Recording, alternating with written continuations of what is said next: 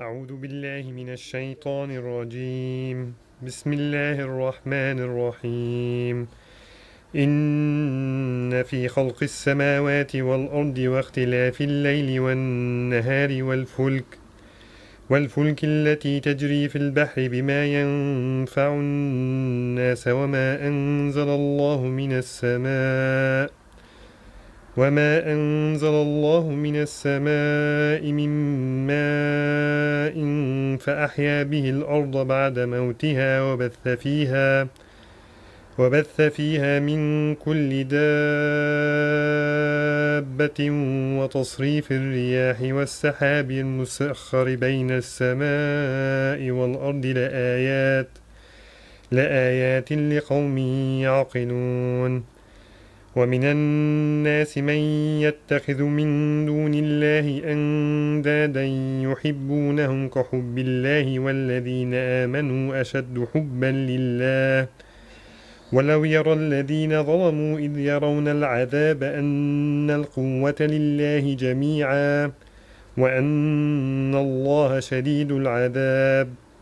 إذ تبرأ الذين اتبعوا من الذين اتبعوا ورأوا العذاب وتقطعت بهم الأسباب. وقال الذين اتبعوا لو أن لنا كرة فنتبرأ منهم كما تبرأوا منا. كذلك يريهم الله أعمالهم حسرات عليهم وما هم بخارجين من النار. صدق الله العظيم.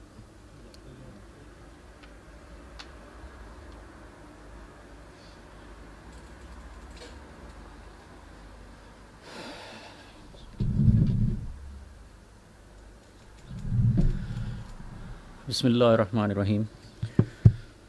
On behalf of on behalf of Discover Islam Ireland and South Dublin Maktab, I welcome you to this very important event. It is a great honor for all of us that on the invitation of Discover Islam, brother Adnan Rashid has come to meet and speak to us. Adnan Rashid is a historian with a specialty in the history of Islamic civilization, comparative religion, and Hadith literature. He has honors degree in history from the University of London and is currently pursuing further studies. He has also gained ijaza in Hadith from a number of scholars. He also takes a keen interest in the study of ancient manuscripts. He has debated many high profile figures in the field of politics, history, and Christian Islamic theology. He has defended his views in many prestigious universities, including the University of Warsaw in Poland, the American University of Beirut, Lebanon, and the Trinity College Dublin, and numerous other universities across the UK and internationally. He has also represented Islam and Muslims on a number of reputable media platforms such as the BBC. He is presently serving as a khatib in a number of London mosques.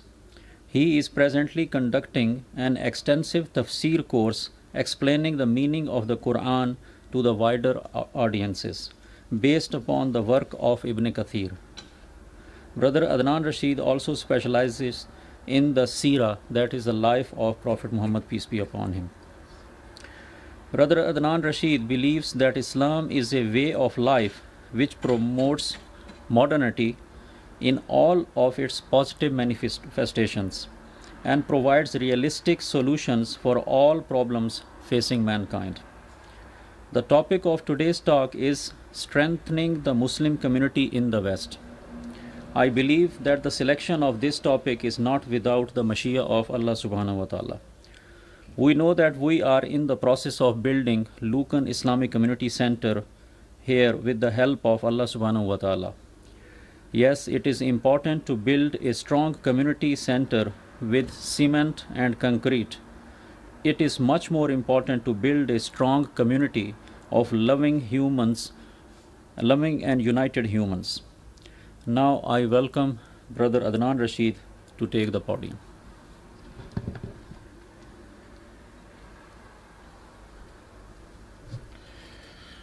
Thank you very much. Bismillah ar-Rahman ar-Rahim. Alhamdulillah wa salatu wa salamu ala Rasulillah Mabad. Brothers and sisters, dear friends, thank you for inviting me to this uh, venue. It is always um, great honor for me to attend different venues in Ireland. I was at Trinity College Dublin yesterday and I talked about uh, a topic, discussed a topic there. And today I'll be talking about how to strengthen the Muslim community in the West. There are a number of points I would like to address to share my thoughts based upon my little experience and knowledge in the West. These are things I see as solution. Things that come um, in due course. Things I will discuss in due course.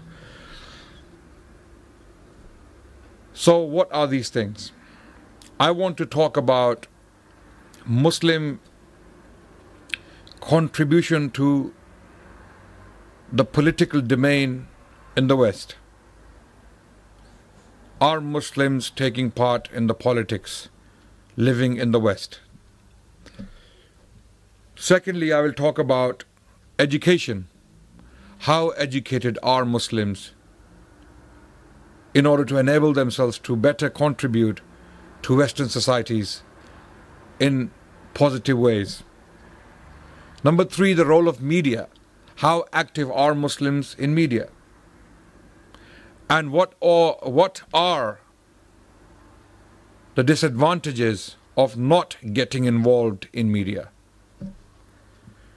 Number four, I will talk about coordination between Muslims from different backgrounds, from different schools of thought, from different ethnicities living in the West. Number five, I will be addressing social work. How important it is for Muslims to get involved in social work, doing something for the community, especially living in the West, if we wish to strengthen ourselves here. And most importantly, number six, our manners of living. Are we actually living according to Islamic principles? Are we upholding Islam as our way of life, as it should be upheld? So, the first point I would like to address is politics, the importance of Muslim involvement in politics. We have come to the West to live here. Many of us came from different parts of the world for a number of different reasons. Some came to work for a few years, work in factories, work in shops, drive taxis, or establish businesses with an intention to return home. So initially, when our elders landed in the West, if I'm talking about Britain in particular, that's where I, that's where I come from. I live in London. For the past 20 years almost, I have been in London. And when I came to London in the late 90s, 1997 to be precise, I never imagined myself dying in Britain and being buried in Britain. I didn't think like that. You know, I didn't want to. I mean, not that Britain, dying in Britain is something bad. If, if Allah has written that for me, so be it. Okay? But the question is, would I like to die in Britain and get buried in Britain? Not that it's bad. Many Muslims have died in Britain, and there are huge cemeteries full of Muslim graves. If you go to, to London, now it, it is very difficult to find space in some of the cemeteries. But when I came in 1997, I wasn't thinking like that, that I will actually die in Britain and live there for the rest of my life. Even me, when I came in 1990s, in the back of my head, I was thinking, okay, I'll spend 10, 15, 20 years, make some money, build build few houses in Pakistan and return. Go back to Islamabad and live the life. Not that that intention has changed, but have I actually worked towards it? No, not really. I haven't worked anything or I haven't done anything effective in order to fulfill uh, that particular dream if I had it clearly in my mind. But I never thought clearly whether I will actually die in Britain. Likewise, in the 60s, when our elders came to Britain, in the 60s mainly, or some came in the 70s, there was a huge uh, diaspora, you know. Uh, it was like, like an exodus of people from different parts of the world coming to Britain in particular, and some going to the US, others going to Australia, some going to Canada. Of course, there was a, a, a demand for labor in these countries. After the Second World War, uh, many men had died. Men died in millions. And that left a vacuum in these countries. Men were short of supply. that means labor is short of supply. You need people to work in order to run the economy. That's why some of these countries opened immigration to places like Pakistan or West Indies, you know, Jamaica. This is why in the 70s you had many Jamaicans or West Indians coming to Britain.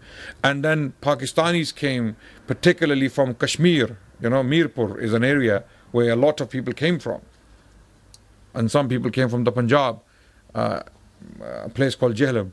So hundreds of thousands of Pakistanis migrated to uh, Britain. Now we have over a million in Britain living in different parts of that island. Can I have some water, please? Is it possible? From drinking water. So, when we came here, most of us didn't think that we will be here for the next three generations. Now, Muslim communities predominantly have been living in Britain uh, or in America or in Australia in some cases, or even in Canada uh, for the last three generations. We've had uh, children, and our children have had children. And they don't have an intention to go back. Children who are born in the West are westernized. They may be practicing Muslims, but their way of thinking is westernized. They think differently. They don't think like people think in North Africa or people think in Pakistan or India or elsewhere. Their way of thinking is very much conditioned by circumstances in the West. So they have no intention as such to go back and live another life or a different life, uh, what we call back home. You know, usually when we say back home, we mean the country we come from originally. So now we face a situation. We have been here for a few generations. And it is very unlikely that our children will go back voluntarily. I don't think they will go back voluntarily. They like it in the West. Things are quite nice. We, we have had our freedom in the West to worship. We have had mosques, we have we've had community centers, we've had equality, we've had education so far. Although, with the election of Trump in the US and some right wing parties coming to power in Europe, things are changing, no doubt. France has changed quite a lot since 9 11. America has changed. The global media is uh, deliberately or systematically demonizing the Muslims. And this is not a hidden secret. It is an open fact that international media is not a friend of the Muslims or the Muslim interest. So, how do we strengthen ourselves in the West now? We have a situation here. We are living here. We have businesses here. We have children here who want to live here, who like it here. This is home for all of us now. So, how do we actually truly make it home? And that is only possible when we strengthen ourselves. Do you all agree? Do you all agree? That is only possible. This will only become home when we actually consider it truly from the depth of our hearts home. Because this is where we live. The lands we live in, in this case, Ireland this land must benefit from Muslim existence. Muslims must leave a positive legacy behind, not, for, not only for their own children, for the people of Ireland. And there are some historical things I have to share in due course. I will talk about them. One of the best ways to ways to uh, strengthen ourselves is to get involved in politics. Not to become politicians, not to sit and you know like I'm not talking about politics as it is in your countries because I can see different people from different backgrounds. Okay, there are some Arabs here, there are some uh, Asians here. For I mean, not that Arabs are not from Asia. Arabia is also Asia. But um, when I say Asian, I mean Indian, Pakistani, Bengali community, or possibly Somali or Yemeni, wherever you are from. You're from different backgrounds.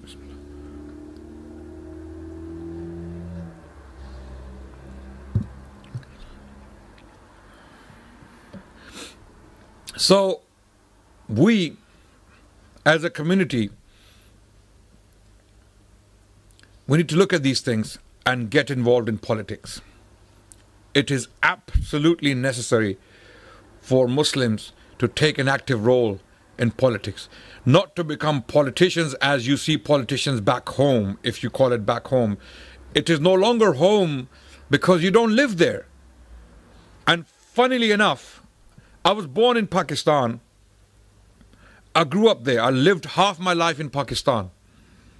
I am very much Pakistani in my way of thinking. I'm possibly cultured and conditioned by uh, Pakistani way of thinking or understanding things. But I do not see Pakistan as home anymore because I don't live there. I love Pakistan. It's a beautiful place, but I don't live there. So when I go back to Pakistan to visit my parents or my relatives, I do qasr in my salah.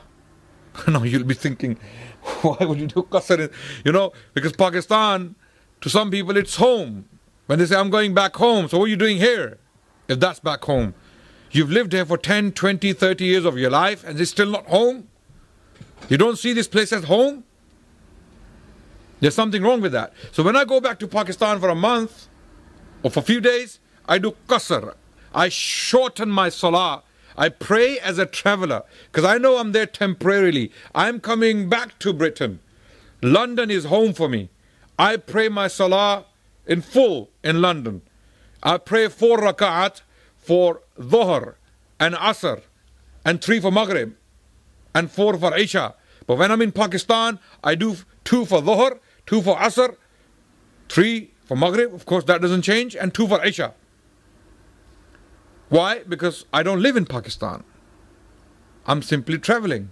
I'm a traveler there. Unless, unless I permanently move back to Pakistan with my family and live there and establish a business there. So this is home. So when I say politicians, don't think of the politicians you see back home. Those corrupt politicians who are in most cases, you know, behind most of the crime taking place in those countries. Some of them, some of them are big gangsters, and because they have a lot of money, they come to power. I don't want to mention names. You know the people I'm talking about. Whether you come from the Arab world or whether you come from the non-Arab world. If you are Muslims, you know what I'm talking about. Whether it's Bangladesh, Pakistan, or India, you know how politics works. Or whether you are from North Africa. I've traveled through these countries. I've been around and I've seen how politics works. I'm not talking about a politician like that. I'm talking about a man of the people, for the people.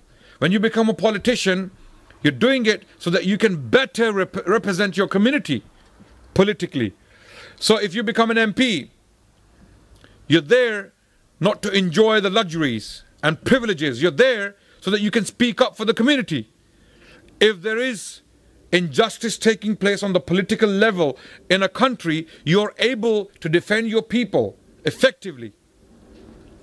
And if you're not there, then don't blame anyone but yourselves. Do you agree? So when right wing parties are coming to rise, they are coming to power in Europe. It is happening because Muslims have failed for the last 30 years to engage effectively in politics. We have neglected this area. What is the Jewish population of Britain? What is the Jewish population of Britain? Not more than half a million. Are you listening to me, brothers? Are you? Do you want me to wake you up? Are you listening, Ikhwan? Yes. Good. Uh, please let me hear you. okay? Because I will get energy from you as well. If you're getting energy from me, I want energy back coming my way as well. Okay? So, what is the population, Jewish population of Britain? Half a million. How many MPs do they have in the parliament? The Jewish community. Good for them. How many? 30. The last I heard was 30 MPs. How many Muslims do we have in Britain? At least 2.5 million. At least 2.5 million. It may well be more than 3 million. How many MPs do we have, Muslim MPs in the British Parliament? Perhaps six or seven. And some of them are not even interested in the Muslim affairs. Very few are actually vocal about Muslim affairs. Why is that the case? Are you then surprised as to why British politicians and the Prime Minister and the political system is so inclined towards favoring what's happening or favoring the Israeli policies in Palestine? because there's a very strong existence, political existence of the Jewish community in the British Parliament. And this is this is this is a factual point. I'm not trying to criticize anyone here. Uh, good for them if they are strong. If if a community is strong and it's taking care of its uh, political interests, that's what they're supposed to do, right? What's happening to Muslims? Why are we not taking care of our political interests? Why are we not contributing politically, positively, in the political affairs of the lands we live in, whether it's France, Ireland, Britain, Australia, the US, wherever it may, it may be? What is the outcome of being apolitical? Apolitical means non political. What are the consequences of that? I'll give you one example historically. You know, India was colonized by Britain. India was colonized by Britain. In the mid 18th century, 1750s and 1760s, uh, to be more precise, 1757 was the point when uh, the, the, the British East India Company, uh, which initially came to India for business, became uh, the master of a large chunk of India called um, Bengal. And not only Bengal, uh, Bihar and Orissa. These, these are three most uh, prosperous agriculturally provinces of India. This was the breadbasket of the Mughal Empire. When the Mughals lost Bengal, they lost um, a huge source of revenue because these were predominantly agricultural societies. Agriculture was very important for any empire to survive because agriculture would bring money. This is pre-industrial era. Okay, so Bengal and the Punjab, two regions were in particular very important for the Mughal Empire because this is where a lot of the provision and revenue was coming from. So when the Mughals lost Bengal to the British, and it happened as an accident, amazingly, the British East India Company could not even it's in its wildest of dreams imagine that it will become a master of Indian territory at some point in history. They could not have imagined it happened as an accident because things were chaotic at the time and uh, business businesses uh, huge businesses like the British East India Company uh, had uh, basically accumulated an army for itself to protect its interests. So it had a private militia, a private army, the East India Company. So there was a dispute with the Mughal emperor. The Mughal emperor, not the emperor himself, but the, the governor of Bengal, uh, he had a dispute with the British. He asked them to pay taxes. And the British East India Company in return said that we have an exemption from the Mughal emperor. And they produced a farman. Farman is like a, a decree. They said, here's the farman, here's the decree. The Mughal emperor previously had exempted, uh, exempted us from taxes. The governor of Bengal, who had become semi independent at the time, he said, no, he insisted, taxes, please. So the British fought back. And when they fought back, they defeated to their shock, to their own shock, they defeated the governor of Bengal, who had an army of 50,000 men, and the British were only 5,000, led by Clive. And the British defeated the Bengal uh, army. And lo and behold, as a result, in 1762, uh, the Mughal emperor relinquished taxation rights to the British uh, for three provinces and then the British influence grew. Within a century, Britain had become uh, the master of India in totality. So India was governed by Britain for a very long time. So when India was colonized, then came the independence movement. The independence movement never really died. When the when the people of India realized what the British ambitions are in India, they started to resist immediately it all started with a Muslim king called, uh, actually two kings. One was called Hyder Ali, the other one uh, was his son called Tipu Sultan. They started to resist in uh, British expansion in India because they had realized that the British now plan to take over the entire peninsula, not only Bengal or some parts of western India, rather, the British plan to take the whole of India now. So they fought back they resisted. And cut the long story short, uh, they were not supported by other other uh, Indian principalities such as the Marathas and the Nizam in Hyderabad, and there are other uh, Indian uh, small states. They did not support Hyder Ali and his son Tipu Sultan. They were defeated. Then the struggle continued. On and off, on and off, Muslims and Hindus continued struggling to get rid of the British. It eventually accumulated or escalated during the Second World War. When the Second World War kicked off, Hitler was threatening the existence of Britain altogether. Uh, so the British needed the Indian army. Uh, and the Indians fought in the hundreds of thousands to defend Britain. Sikhs, Hindus, and Muslims all went to fight for Britain in different parts of the world because it was a global war. Remember? That's, this is why it's called the Second World War. Even in the First World War, Indian contingents fought for Britain. So, as a result, cut the long story short, uh, Britain gave independence inevitably to India. And the country, the peninsula, was split into three large chunks. We had East and West Pakistan, which is now today Pakistan and Bangladesh, and in the middle we had India, Hindustan, Bharat, right? But why were the Sikhs not given a homeland? This is the point I want to address. This is something we can learn from. Sikhs were a very important part of the British Army since the mid 19th century. Are you getting bored? No. Brothers and sisters, no. are you getting bored? No. It's a history lesson. But we learn a lot from history. History is very important. Why? Because Allah subhanahu wa ta'ala in the Quran again and again and again draws our attention towards history. Surah Baqarah, subhanallah. Read the second surah. It is full of history. Right? Why is Allah telling us about Banu Israel? Why is Allah subhanahu wa ta'ala telling us about Sulaiman, for example?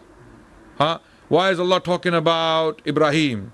Why is Allah talking Alam tara kayfa fa'ala rabbuka bi'ad إرم ذات العماد التي لم يخلق مثلها في البلاد وثمود الذين جابوا صخرة بالواد Why is Allah talking about these things? هل أتاك حديث موسى Has the news of Musa reached you? Siru fil ard.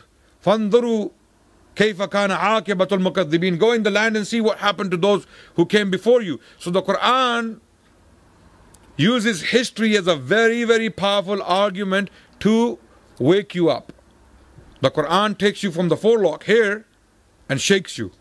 Wake up. You're nothing special. People came before you, a lot more powerful, a lot more effective, a lot more educated. And look what happened to them. Don't waste your time. Wake up. Learn from their mistakes and don't repeat them. That's why history is important. So, the point I'm about to make about India to, to, to, to get you to realize how important it is to have effective political leadership so that you're not deprived. So that you're not deprived of some of the most important things in life. So Muslims were able to secure a homeland because some of the Muslim elders and thinkers had realized that Muslims will only Muslims have always been a minority in India. Always. Always. Since the time Muhammad bin Qasim al-Thaqafi landed in the year 92 Hijri in India, very close to Karachi by the way, and he went as far as Multan, central uh, southern Punjab. Muhammad bin Qasim al-Thaqafi during the Umayyad period, in the time of Walid bin Abdul Malik, when he was the Khalifa in Damascus, Damascus, Hajjaj bin Yusuf, the governor of Iraq, sent an army of 5,000 men led by Muhammad bin Qasim al-Thaqafi in 92 Hijri. The same year when Tariq bin Ziyad landed in Spain from Morocco, he crossed the, the channel from Morocco to Spain. Same year, 92 Hijri. And the same year, Muslim bin Qutayba was in northern China. Subhanallah. This was the largest chunk of land ever taken by a group of people in history. So, from that period onwards, Muslims have always been a minority. Even when in the 12th century, some or even in the 10th century and the 11th century, when some of the Muslim uh, invaders invaded from Afghanistan, from that region, like a man called Mahmud al Ghaznavi or Shahabuddin Ghori, uh, Muhammad bin Sam, Shahabuddin Ghori, who, you know, the, the Delhi Sultanate, I mean, this is again is going to turn into a history lecture. I don't want to digress. I don't want to go into another topic. The point I'm making is Muslims have always been a minority. So, for that reason, when Muslims governed India for nearly seven centuries, they governed India as a minority. And they governed effectively. And Hindus and Muslims and Jains and Buddhists and Christians flourished side by side for centuries. Because Muslims had a very egalitarian policy towards minorities or majorities, towards others in general. But when the Hindus came to power, who were the majority, the Muslim leaders during the independence movement were very concerned about that because that is something they have not experienced historically. They don't know how it will turn out. What will happen to Muslims if they are governed as a minority by the majority Hindu? And if the British leave India as a democracy, what happens in democracy? What happens in democracy? The majority rules, right? And if the majority rules, Hindus will come to power and the Muslims will become a minority. So some of the elders, some of the thinkers, some of the philosophers of the Muslims, such as Muhammad Iqbal, he's a very famous poet. He was also a philosopher par excellence.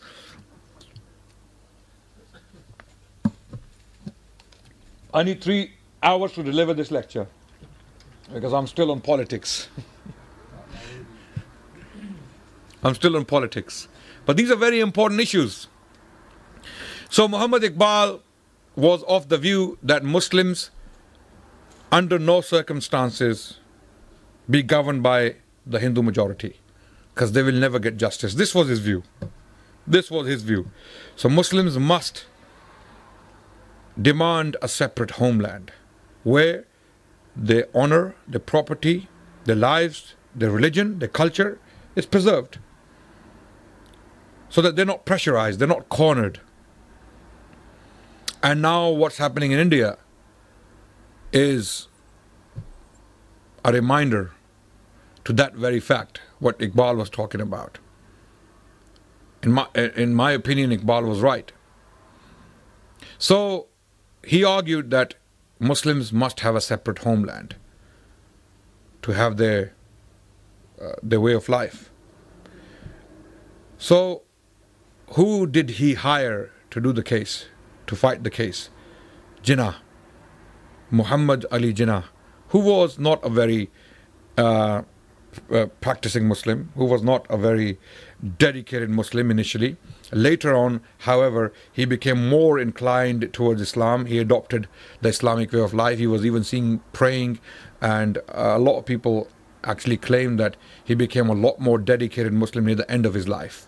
Muhammad uh, Ali Jinnah. But initially, he was an English gentleman, incarnate.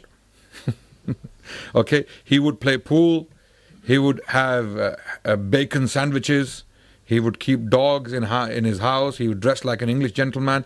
And he was one of the top barristers in Britain. He was so big in Britain in the 19, early 20th century that he had a white English chauffeur. It was a big deal at that time because India was um, enslaved to Britain Okay, so Indians were, were seen as inferior. But he, living as a barrister in London, in Britain, had a white man driving him around as a chauffeur. This is how big he was as a barrister. He was a very effective lawyer. So Iqbal, with his theory in mind that Muslims need a, need a separate homeland, he went to Jinnah. He said, You're the only man who can fight the case for us. Because you know the law. You know the British law, how the British mind and the law works. So we need someone like you we need someone like you to fight our case for us. The Molanas, the ulama, the scholars, I'm sorry, are not able to speak that language. The British will simply not take them seriously because they're not trained in their style. You are one of them. It is like, subhanAllah, why do you think Musa salam was kept with Fir'aun for so long? Why do you think Allah subhanahu wa ta'ala, Allahu Akbar, when you think about the wisdom of the Quran and the stories the Quran gives you, his sister puts him in a basket. The mother, to save his life, they put him in River Nile and they put their trust in Allah subhanahu wa ta'ala. Go. Fi amanillah. Now, whatever Allah may do with you, it is His choice. Allahu Akbar. And the same child ends up in the house of Pharaoh. Pharaoh, he's nurtured, he's conditioned, he's fostered by that very establishment which Allah is planning to abolish through this child. But how is this child going to do that? If he lived with Banu Israel, who were enslaved for four centuries, who simply do not have the confidence, the courage, and the drive to stand up to Pharaoh. Because they have been completely shattered as persons. As individuals, they do not have the drive, the courage. They can't stand up to the oppressor. Why? Because they don't have the, the confidence. They're scared. They have fear. But this man, this child, Musa, who is from Banu Israel, was put into the house of Pharaoh and then he grew up with the Pharaonic establishment having understood it from within, from the inside. And then that's why when Allah subhanahu wa ta'ala told him, having conditioned him now, because now you see he needed cleansing. Living in the pharaonic system, it has its toll, you know, it takes its toll. So you need to be cleansed. So Allah sent him in the desert. Go out. He spent some years in the desert Allah conditioned him, reconditioned him once again, and then idhab ila fir'aun innahu tagha. And even then Musa alayhi salam was worried, he was scared, Ya Allah. And then Allah told him, I tell you to go, go. And he was able to look the Pharaoh in the eye and talk to him because he grew up with the Pharaoh. He knew the system. He knew how it works. He wasn't scared of it. He was from within so this is why Iqbal went to Jinnah. You know the system. You need to stand up to these people. So he came back and he fought the case for the Muslims and he became a very effective leader and he was successful in getting whatever the Muslims got. Although the split, although the divide was very unfair, the way you know this guy came from Britain who has never lived in India before, imagine. Imagine. He came from Britain and he came to split the country. He came to tell the Muslims, this part is yours, and he, tell, he came to tell the Hindus or the Indians, this part is yours. And he was simply sitting in the office with a ruler and a pencil, drawing lines on the map. Have you seen the, the map of Algeria and, and, and, and, uh, and Libya? Huh? Have you? Have you seen the map? Brothers, Muslims, Ya ayyuhal ikhwan, do you study geography? Do you even look at the world, the global map? Okay, now I'm going to test your geography. Where is Burundi? Oh yeah, I know where it is in Africa. Is it is it in West? Okay, good. Where? Wrong. Where? Where is it? East Africa. Are you East African? That's why you know it. It's a small country on the map. You can't even find it. Okay, so we need to. So if you look at the map of Algeria and Libya, there's a there's a straight line like this. Where did that line come from? This part of the desert is yours, and that part of the desert is yours. Yalla, go. And who did that? Some guy sitting in an office, a colonial administrator who put the ruler on the map, and he said, Yalla, Libyans, it's yours. Now go and die for it. Yeah? And Algerians, it's yours. You go and die for that. I'm the one telling you that. Who are you to tell us these lines? But that's another question altogether. So this administrator came and he drew the line. This is Pakistan and that's India and that's Bangladesh. You know, that's East Pakistan, this is West Pakistan. But the Sikhs in the middle, who were very, very prominent in the British army, they gave so much sacrifice for the British. Since the mid 19th century, the Sikhs had been fighting non stop for the British Empire to an extent that during the Indian Mutiny, when the Hindus and the Muslims fought for independence, the British army, 300,000 native soldiers rebelled against 40,000 white British personnel and still lost the battle. At that time, the Sikhs predominantly supported the British against the Indians, the Muslims, and the Hindus. That much sacrifice. But Sikhs did not get anything. No homeland for them, even though they are a separate religion, separate people, predominantly living in the Punjab region. You know why? Because their political leadership was ineffective. There was a man called Master Tara Singh who was leading their campaign, who was leading or representing them because he was not trained or educated as Jinnah was, or as politically active as Jinnah was, or as sharp as Jinnah and Nehru from the for the Indians or the Gandhi. Gandhi was a barrister, by the way. When you look at Gandhi, you know you see him dressed in two pieces of cloth you know, he was not an ascetic. He was a well-trained barrister. And he used his skill for the effective representation of his people. So the Sikhs lost.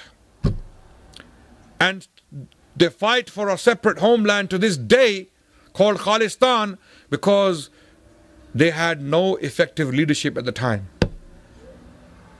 They didn't have people like Nehru, Gandhi, and Jinnah fighting for them. Likewise, you, the Muslims living in the West, if you do not have proper, educated, sharp, trained political leadership and representation, don't expect anything from anyone. Don't expect any sympathy from right wing parties. Don't expect, you know, anything from organizations like EDL in Britain, for example. It's gone down, alhamdulillah. They are completely, they have been rejected by the British people. Uh, the British people are some of the most tolerant people on the planet. You know, they said, no, we don't need these people. Although they are in the minority at the moment. But things can change very fast. How can Trump come to power in the US? Imagine if you don't have proper political representation in America, which you don't. Which you don't. You don't have it, unfortunately. Till now, you have nothing effective. Any laws can be made against you. Your mosques can be closed. I'm not saying this is going to happen, but it is possible. History can repeat itself. History simply lives on.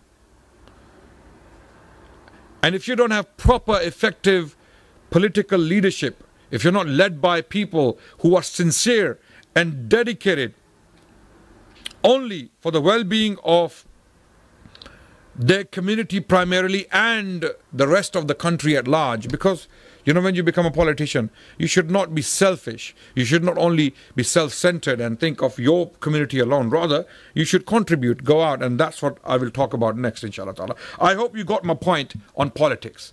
That politics is very important for you to get involved in. A lot of people come to you, no, you cannot be part of this kuffar system or this uh, Dajjalic system. There, are people who come to talk to you like that then if that's the case, why do you live in the land of, you know, kuffar and take benefit from here? Pay back, give back, positively, nicely, creatively, give back. You don't have to adopt another religion. You don't have to adopt another way of life. You have to live by your rules, by your ethics, your morality, by Islam, no doubt. But at the same time, respect others, and give back handsomely. We will talk about that in due course, inshallah ta'ala. So, getting involved in politics in a non Muslim society doesn't mean that you are actually losing your religion. You're simply there to represent your community. Like, imagine in Najashi's time, when Najashi was approached by the Qurayshis to give away these people, these runaway slaves, they have run away. So, give them back to us. Imagine if Ja'far bin Abi Talib was not there to represent the Muslims. Imagine. If the Muslims, for example, were asked to send your leader forward, what do you have to say? And they were saying, no, no, no. No, no, I'm the leader. Another one comes along, I'm the Salafi comes, I'm the leader. The Deobandi comes, I'm the leader. The Barelvi comes, I'm the leader. The Sufi says, no, no, no, me. You know, he's not my leader. He's not. Uh, and what happens? Any king who has a brain who says, pick them all up and throw them out. We don't need people like this. So, what happened? Ja'far bin Abi Talib radiallahu anh stood up and Muslims stood behind him and they put him forward because he was the most effective, the most qualified, the most able person to represent the Muslims at the time, right? So they put him forward. He said, O king, we were a disgraced people. We used to worship idols, eat dead meat. Then this man came from the noble family called Muhammad bin uh, Abdullah, and he taught us these things, and we followed him, and they became our enemies. Tell us what's wrong with our way. This is like this is this is exactly how you stand in the Irish Parliament or the British Parliament or the American Congress and speak to the people. Speak to the representatives and tell them who you are and what you want. You don't want any bad for them, you want good for them. We are only here to be positive contributors, not uh, destroyers, as the media paints us. And this will not happen until, until you have people to represent you there. And that doesn't mean that you. Did, did Ja'far bin Abi Talib become a Christian? Did he become a Christian by standing up for the Muslims in front of the king? No. No. He simply stood up for his people. And if you disagree with me, bring it up in uh, during the Q&A. Education, the next point. Education is very, very important. Again, it is intertwined with uh, the political uh, um, aspect of your contribution to Western societies. Education is very important. You must educate yourselves in the right subjects. You must primarily teach your children Islam, definitely, no doubt. Okay? You must strengthen the sense of identity in your children. When you sit on a dinner table, talk to your children, communicate with them, teach them the little Islam you have in you. Teach them about the Prophet ﷺ, his life, his sacrifices, Islamic history, Islamic civilization, what the Muslims have done in the past. Get them to love the Islamic lifestyle, which is beautiful. We believe it's beautiful. We live it because we believe it's the truth, right? So get your children involved in learning Islam actively. And I don't mean by sending your child once a day for half an hour to the masjid to read the Quran without understanding. And there you have a Molvi in the masjid. I'm not saying this in a, in a negative sense, but this is the normal uh, you know situation we face in Britain. You have the Molana sitting sitting there and he's beating the child to read the Quran. And that's the first exposure of the child to the word of Allah subhanahu wa ta'ala. He will hate it for the rest of his life. Because this book, I was forced to read it. I don't want it. I don't want it. I don't want any part of it. That book will never become part of his life because you beat your child to learn that book. And learn it without understanding, not teaching him with love. Okay, if the children are too many, reduce the number. Split the responsibility. Take 10, 10 children and focus on them. Teach them nicely. One of the scholars from India, called Shah Waliullah al Muhaddis al Dehlawi, rahmatullah he said that my father, the reason why I have become what I have become is because my father taught me with love, compassion. And if we don't teach our children the Quran with love and compassion, they will never have that attachment with the Quran, the word of Allah subhanahu wa ta'ala. That's very important. So understanding, giving them Islamic literature, actively. And not only that, then training your children in what we call secular sciences. So there has to be a balance. Okay, if your children are being trained in Islam, Quran, tafsir, hadith, shuruhat, you know, aqidah, whatever fiqh you want to teach your children, you want to make sure that they have an active participation in Islamic system. You know, get your children involved. It's a positive thing. At the same time, make sure you teach them the secular sciences like other subjects, so they become you know, um, a, a, collection or, you know, what we call, um, mm, how can I put it? You know, that Islamic side is very strong in them, and the, the other side, what we call the dunya side, although there is no dichotomy, there is no split between the two. Okay, Islam came for the dunya, Islam is not for the hereafter. You know, Islam, which is a way of life, we will not be living Islam in Jannah. Will you be living Islam in Jannah? You will, men will have no beard in Jannah. Women will not wear hijab in Jannah. In Jannah, you're free. Islam, worshipping Allah subhanahu wa ta'ala, is here. Islam is for dunya. The deen is for the dunya. Deen and dunya are not separate. So, when we say ilm, ilm means primarily the knowledge of the Quran and the Sunnah, and then that ilm leads to other branches of knowledge which Allah mentions in the Quran, the natural phenomena. The natural phenomena. أفلا ينظرون إلى الإبل كيف خلقت وإلى السماء كيف رفعت وإلى الجبال كيف نصبت وإلى الأرض كيف سطحت Why is Allah talking about these things? Do you not see? What does Allah mean, do you not see? See, Ibn al-Qayyim al-Jawziyah, one of the scholars of Islam, he said that Allah revealed two books. Two books. One is the Kitab, the revelation, the Quran. The other is the universe. ن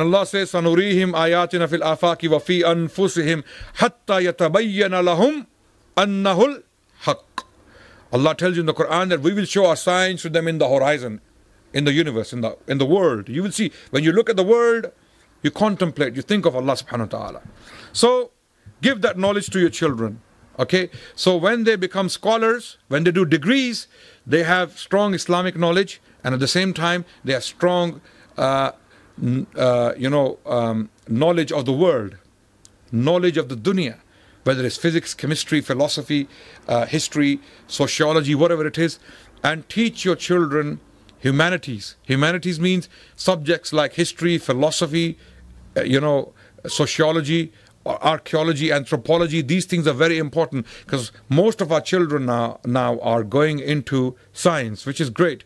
Why? I want to become an engineer. I want to become a doctor. I want to become, you know, something to do with science or economics, right? Uh, finance. You study finance, or you study law because you want to become a lawyer. You study finance because you want to become an accountant. You study medicine because you want to become a doctor or an engineer or a civil engineer, right? Because everyone is thinking about the stomach, not the brain. The brain we have left for other people. Philosophy, history, poetry, literature, you guys do it. And these are the ones who make policies for you. These are the people who lead your societies. They make policies for you.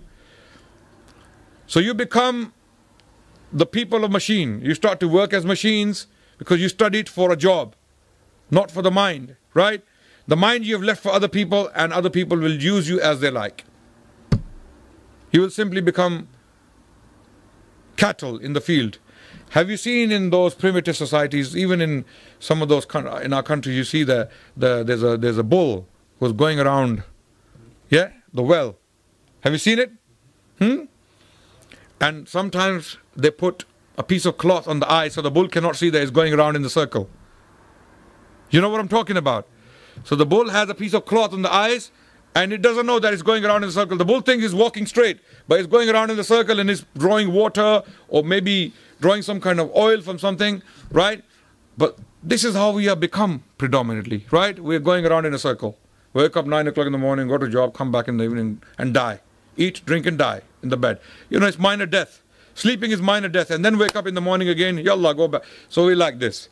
We're not doing anything for anyone else, not for the ummah, for not, for not for our children. So this is very important. We have to have a balanced life, and that comes with education. So education, again, has a multifaceted approach. You teach your children on the deen, very important, strengthen their sense of identity, uh, make them strong Muslims, at the same time, give them that uh, direction in life that they become effective contributors. Next, media. Through your education, we need strong involvement in media. Now, media has become one of the biggest problems for the Muslims in the West in particular. Most newspapers are not your friends. Most channels and major channels I'm talking about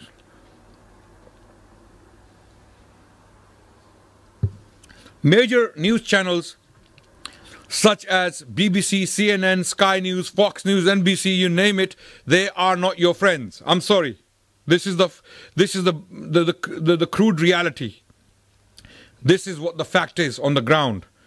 Most newspapers have nothing positive to say about Islam and Muslims, unfortunately, because you're not there. You're simply not there. You don't own any of the major channels in the world. You are 2 billion people. You have oil wells, you have gas, you have everything. You have some of the best doctors in the world. You have some of the best lawyers in the world. You have some of the best engineers in the world, some of the best lecturers in the world, and yet you have no representation in the mainstream media. Mass communication you have left for others. You allow others to represent you, and you allow those to represent you who do not like you, and they do not do justice to you. They paint you as the problem when you're not the problem. You are being shown as the villain. So this is why you get so many attacks on Muslim women. I'm talking about the case of Britain. Every day in the newspaper there's a report. Recently a guy kicked a pregnant Muslim woman causing her to have a miscarriage. Twins. Twins. This guy kicked a Muslim woman in the stomach. She was pregnant with two, chil- two, two children in her stomach. They died. Now the question is, why did this man kick her? Why did this man kick her? What drove him to do that? Media. False representation of Muslims on the mainstream media. So we need to stop playing the, the blame, blame game and say the Zionists are doing it, the right wing Christian groups are doing it, or the Qadianis are doing it, or the Shia are doing it. The, the, the, the list goes on. Okay, the question is, what are you doing? Is the question. Okay, they are all doing it, and that may be true, but the question is, what are you doing? Are you studying journalism? Do you have strong television? I mean, um, if, if, if I was to talk about the case of Pakistan, even that's a big problem. Some of the media in Pakistan is completely biased against Islam, unfortunately. Because Muslims do not have a strong representation on media. We have not trained our people in media. And how do we, um, am, am, am I asking for a million Muslims to go into media? No. Even if you had a hundred effective journalists who were trained into journalism, who were trained into writing news articles, journals or trained as TV anchors or run programs, do documentaries, make doc. Who's stopping you? Most of you have Irish passports, right? You don't have any travel ban on you, right? The travel ban is there. It is not in your passport. It is there in the, in the in the mind. I can't do it because I can't do it. No, it doesn't work like that. You need to do it. If you can't do it, tell your children to do it. Go and st- make a short documentary, five minutes. Go and interview people on the street. What do you think of Islam? And tell them why they're wrong or why they're right. Do something. Get involved in media, and it doesn't stop there. I'm talking about even producing movies and cartoons for your children. What are your children watching at the moment? Are you listening to me, brothers? Yes? Are you getting bored? Tired? Are you mentally drained? I should be, not you. So I'm finishing very quick, inshallah ta'ala. Very quickly, I'm summarizing my points. So, your children are watching at the moment. What are they watching? What movies are they watching? What, where is the inspiration coming from? When they watch cartoon, who are the heroes? Superman, Spider Man, Mickey Mouse, Donald, Donald Duck, Tom and Jerry, Pink Panther in the 80s and the 90s, or maybe, maybe 90s or the 70s. These are the people your children are watching. Or if they're watching movies when they grow up, they are watching uh, James Bond 007 or The Godfather. Huh? Boys in the Hood. If they listen to music, they listen to the rap music. You send them to the masjid to read the Quran, the child goes and reads the Quran like a parrot, comes back at home, and you leave the child in the bedroom with a, with a smartphone, with a laptop, and you go to my child, go to sleep, and the child gets busy for the next two, three hours and watching stuff you cannot imagine. Your child is being exposed because you are simply not there as an option. You do not have options for them. You do not have Islamic content for them made in an interesting fashion. So you do not have you do not have Islamic cartoons for them. You do not have Islamic movies. What is to, if you if, if if people can produce movies like Gladiator, Robin Hood has been produced twice, once through you know uh, Kevin Costner starring in it in the 90s, and then a new one came out with Russell Crowe, right? Then your kids are watching The Gladiator or some other movies like that, you know, uh, The Kingdom of Heaven. And even when Muslims are shown in these movies, they are shown in the, the most negative of lights. When you watch this movie, The Kingdom of Heaven, which was produced in 2005, it came out on the history of Crusades, although it was completely historically inaccurate, the movie. Uh, how was Sultan Salahuddin Ayyubi shown in the movie, right? when he and his army is shown a dark cloud on the top and the, the background music is like scary oh these are villains uh, monsters have come when the crusaders are shown who were actually historically barbarians who were the aggressors who were the destroyers and murderers and killers mass murderers they were shown in like white robes and the wind is blowing and there's a white cloud on top of them and the angels are coming to rescue the world this is what media does this is the power of media it can completely change your view on reality. Just because you're not there. Just because you are not there to speak your side of the story. And because you don't have a voice and tongue, you are seen as guilty. Silence is consent, as they say. It's a principle in fiqh as well. Huh? A sukut Dalilul Rida, as they say, yeah? Silence is consent. When you are not there, when you are quiet and you are being misrepresented on the media, that means you're guilty. Simple as that. Because you're not there. Someone needs to talk. Make documentaries, make cartoons, make movies, make something make a movie on Sultan Salahuddin Ayyubi, make a movie on Tipu Sultan or, or Sultan uh, Saifuddin al-Qutuz or Baybars or Ibn Taymiyyah or Imam Bukhari, Imam Abu Hanifa, Imam Malik, Imam Shafi, Imam... You have so much, you will not run out of content, wallahi. You will not run... You know, there is so much to, to invest in. Scholars, you know, subhanAllah, Egypt, eh, our series were made in the Arabic language by some Egyptian channel uh, you know, some Egyptian uh, organization came up with these small dramas uh, um, on people like Imam al-Nawawi, Imam Ibn Taymiyyah, Imam Bukhari, and Imam Ahmad, Imam Abu Dawud. And the stories were actually actualized in uh, in the form of a drama. And wallahi, my kids, even though they don't know the Arabic language, I, I used to sit and watch watch these programs with them, and they used to love them. They used to love them, and they got to know these individuals briefly, superficially, but it was an introduction, which became real for them. So why are we not doing it? So these are some of the conceptual issues. Uh, ideas I'm sharing with the Muslims. I'm sure this video will go out to others, inshallah, and they can also uh, hear my views. Coordination, the next point. Point number four in my list coordination is very important. The Muslims must coordinate with each other.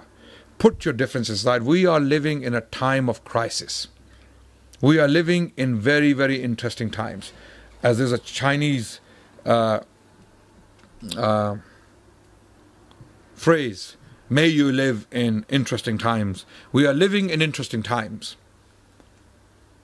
These are very, very interesting times, and this is when we need to come together on priorities. Muslims, who, people who call themselves Muslims, they need to come together, continue to worship as you like. If you are a Salafi, continue to be Salafi, no problem with that. If you want to be that, no problem. If you are a Deobandi or a Hanafi, no problem. If you're a Sufi, as long as you believe in Allah and His Messenger, come and work on common terms. Allah is telling you in the Quran to bring the Christians, قُلْ يَا أَهْلَ الْكِتَابِ Allah is telling you in the Quran, oh the people of the book, come to common terms. So what about Muslims? وَاعْتَصِمُوا بِحَبْلِ اللَّهِ جَمِيعًا وَلَا تَفَرَّقُوا وَلَا تَفَرَّقُوا Who is Allah talking about? You the Muslims. وَلَا تَفَرَّقُوا So come together, work for the common, and it's, it's especially when it's, it's, it's a society like Ireland, where Muslims are still in a minority. I, I was told that the Irish Muslim population in Ireland is not more than 50,000, right? You, more than anyone else, should work together for the betterment of not only your community, but the Irish people also. They should benefit from you. So, coordination with each other, wallahi, is very important. So, let's say there are four brothers. Let's imagine there are four brothers. One is Salafi, one is Sufi, one is Hanafi, one is Shafi'i. Okay? And there are certain people you simply cannot work with. I don't need to mention them. There are certain people you simply cannot work with because you do not have anything in common with them. Don't need to mention them. I'm talking about Ahl Sunnati wal Jama'ah. I'm talking about this big, the majority Muslim group. Okay? There are four brothers and they differ with each other on simple things. And they have a mother. When the mother is attacked, when the mother is attacked, are you listening? When the mother is attacked, what do you think of these four people if they start telling each other, "Now I'm not going to work with you because you're not like me"? But one will come and say, "No, akhi, ikhwan, we are. This is our mother. forget our differences. We need to defend our mother. She's being attacked. She's on fire. Someone put fire on her." So let's take some water and put the fire out. No, one will say, No, no, no, I'm not working with you. I'm not working with you because I don't agree with you. What would you say about such a person? A fool. A fool. A real fool. So we do not need to behave like that because our mother is actually on fire at the moment. People are openly you know, attacking your faith, the Prophet and physically attacking the Muslims around the world. This is happening because we do not coordinate with each other. We're not united. Our hearts are not united. Another point, next point, social work. The Muslims, wherever they are, they need to practice their faith. And that practice, I do not mean by practice salah, saum, hajj, and zakat. These are minimums. Are you listening? These are minimums. Rasulullah said, "Buni al-Islamu ala khamsin shahadati an la ilaha illallah wa anna Muhammadan Rasulullah." Iqam salah ita zakat wa sawmi Ramadan. These are the minimums. What about the extras? The Muslims, Islam is social in nature. Islam that does not benefit the society is not actually truly Islam. The Prophet ﷺ said, The best of you is the one who benefits the people most. The best of you is the one who benefits the people the most. So there's a man who's praying all night at home tahajjud. All night, tahajjud. There's another man walking the streets, feeding the orphan, feeding the poor, and doesn't pray tahajjud, comes home and sleep. Who's better? Who's better? Tell me. Who's better? The one who is feeding the one who is feeding the poor and taking care of the orphan. Because the one who's praying is only benefiting his soul. But one, the one who's going out is not only benefiting himself, he's benefiting someone else and the society at large. Because that orphan, if you do not do not feed the orphan, take care of the orphan, that orphan may well become Saddam Hussein or Don Corleone or Al Capone. Have you heard the story of Saddam Hussein? Go and study Saddam Hussein when he was a child. What happened to him? Go and read his story. What made Saddam Hussein? Because someone was not there to take care of him as a child. Subhanallah, Allahu Akbar. So, social work is the core of Islam. You cannot sit at home and do nothing. You know, kindness never dies. Kindness, compassion will never die. Let me explain what I mean. Why do people remember Salah ad-Din to this day? There have been many kings before him and many kings after him, a lot more powerful and rich than him. Some of the Ottoman emperors, Ottoman, some of the Ottoman emperors had a lot more power, armies, and land than Salah ad-Din. Why is Sultan Salah ad-Din remembered to this day? Why? Kindness, compassion. To an extent that the Europeans, even at that time, they mentioned him. You know, because what happened? This is how kindness never dies. When Sultan Salahuddin Ayyubi took the city of Jerusalem, he allowed the Christians to go free. We will not avenge what happened 90 years ago. Some of the soldiers in the Muslim army they were saying, No, today we will. Like, you know, that incident where Rasulullah was going to take Makkah, and one of the Sahabi who had the flag and he ran towards Makkah, one of the Ansar, he said, Today is the day of slaughter. Today we will avenge the battle of Badr, Uhud, and Ahzab, you know, the battle of Khandaq, all together. This is the year 8 Hijri. Today is the day of slaughter. This Sahabi of the Prophet, ﷺ, this companion, this is what he said. And the Prophet ﷺ sent his companions and bring him back. bring him back. So they grabbed him and they brought him back. And the Prophet took the flag from him and gave it to his son. The flag was given to his son instead. So even taking the flag did not offend the Sahabi. Why? The Prophet today is the day of mercy. Allah has given us power over them. Let's show them mercy, not destruction, because this is what we stand for. Sultan Salahuddin Ayyubi, when he took the city of Jerusalem, he told the Christians that my armies will, under their protection, we will take you to the coast and you can go back to your homeland. And these people in their thousands, when they came back to Europe, Germany, France, and England, they sang songs about Salah ad-Din. They were singing songs of his kindness. Some were even, someone, some were even claiming that he became a he became a Christian secretly. This is why he was so kind to Christians. Some even claimed that. Kindness never dies. In the case of Ireland, one thing the Irish people will never forget, it will never leave their psyche. One favor the Muslims did to them, what was that? Who knows about it? Sorry? Thank you so much. Uh, you know about it. I am not teaching you this. The potato famine. What happened? The Ottoman Sultan sent food how much did it cost him? How much did it cost him? He's the Sultan, he's the king. It, didn't, it doesn't affect his treasury. It was a gesture of kindness towards the Irish people. And Irish people will tell you even today that happened. One gesture of kindness, subhanAllah. He sent food to the Irish people when they were dying of hunger. Allahu Akbar.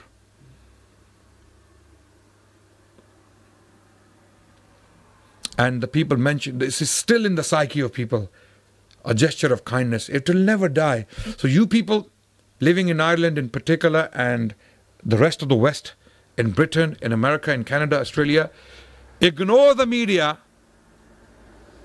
When I say ignore the media, it doesn't mean that let the media bark at you. No. Respond in kind, respond with justice, with compassion, get involved, and have your say as well.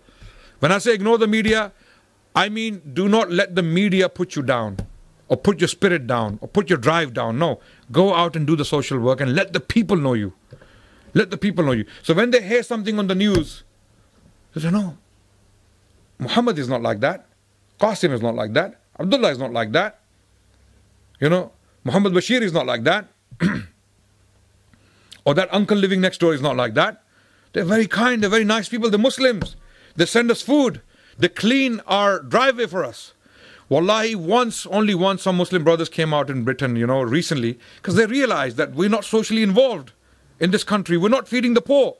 We're not helping the needy. There are people who are poor in this country. There are people who need your support. Go to the hospitals and talk. There is a brother talking to me initially.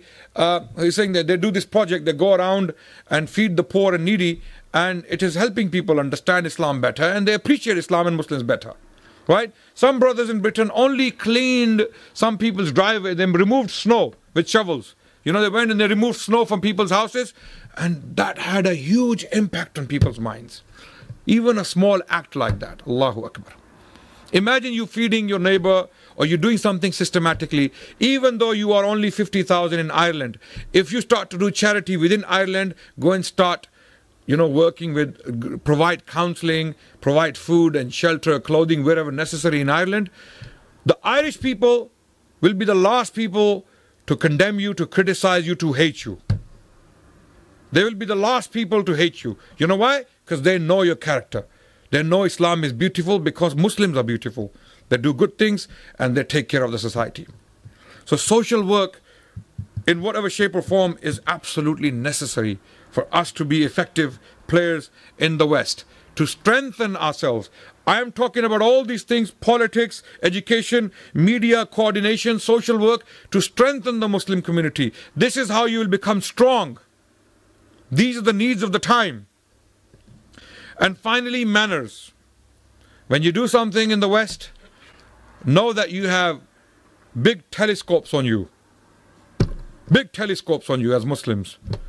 You know, because the media is always looking for excuses to paint you as bad people, right? So you have 12 inch, 12 inch radius telescopes on you. You know, your ant will always be shown as an elephant on the news. Okay? So don't give excuses to your enemies, people who hate you, and observe your manners. Follow the ethics of Islam, the manners of Islam. When you drive, drive properly. Do not litter the streets. Clean your houses. You know, where I live in London, sometimes are, uh, you know, sometimes, you know, when leaf are dry, leaf, they, they fall from trees and then they block gutters sometimes. So our gutter sometimes gets blocked. So I tell my family always that never allow this to go more than a day. Why? You should clean it immediately because your neighbor is a non Muslim. You don't want your neighbor to think that they, these Muslims are dirty people. No, it's a simple thing. It's a simple thing, but it works. You should show your tidiness, your beauty through your manners and behavior. I hope I have raised some important points uh, to help you understand the situation in the best uh, in, in the West for for our betterment as a community. I believe these are some of the most important things we can work on, and they will strengthen us as a community in the West. And if we start to take these things seriously, inshallah, things will start to change. You have more opportunities today in Ireland than possibly any other Muslim community in, in Europe. Irish people are a very kind people, are a very friendly people, are a very open people, and I believe if you do something positive for them, like the Ottoman Emperor once upon a time sent them food and they still remember it to this day, they will remember you for the coming generations if you leave a good mark on the psyche, even today. Thank you so much for listening. Wassalamu alaikum wa rahmatullah. Walhamdulillahi rabbil alameen. Uh, Adnan Rashid. It was really very, very informative talk, and uh, not only informative, but it was actually opening our minds and heart. Actually, it was great talk, mashallah. And uh, now we are coming to the question answer session. So if uh, some brother want to ask a question, so we have microphones, and you can ask the question.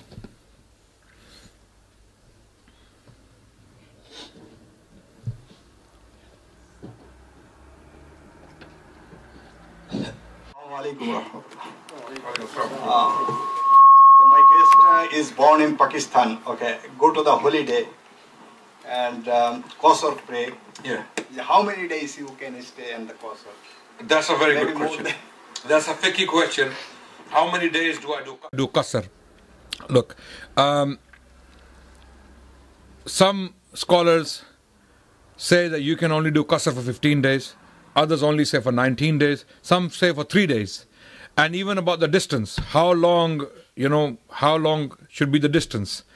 Um, some say it is 80 kos. What we call kos is a, is a s- uh, set distance that if you travel a certain amount, then you can do qasr from there.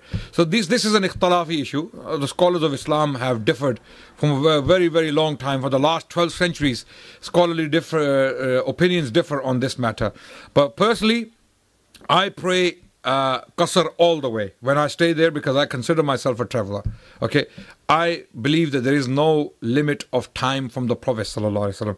Prophet himself specifically never said do qasr for such and such time or for so long.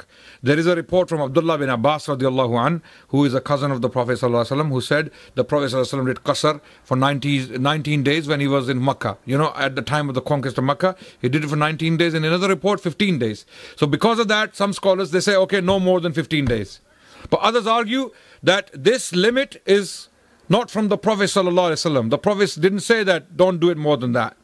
If Prophet stayed longer in Makkah, he would have done qasr longer in Makkah. So these are some fiqh debates, which you know, you know, if we if you really want to study them, the books of fiqh are open. The Hanafi fiqh, mashallah, have the, its own view. The Shafi scholars have their own view, and the, some Salafi scholars from Saudi Arabia they have their own view. So we respect all of them. May Allah bless them for their hard work. And brothers should, you know, if they feel comfortable with a particular school of thought, they should follow it. No problem. Okay. Um, but when it comes to uh, living with each other, we should not make these points reasons to uh, part from each. You know, our love as Muslims, as brothers, should not be affected by these different differing fiqh opinions. Sometimes brothers are so staunch and so rigid in their view that if you do not do things like them, they just excommunicate you. I don't want anything to do with you because you are not praying like me. Come on. You know, this is the wrong way of thinking, and I believe this is causing a, a lot of damage to the Muslims around the world. We should be open minded, we should study, we should continue to study, continue to pursue knowledge of the Quran and the Sunnah to the best of our abilities, and ask Allah to guide us. But if we feel comfortable with a particular school of thought and we believe it is the right opinion, it is the strongest opinion, then follow it, inshallah. I hope that answers your question.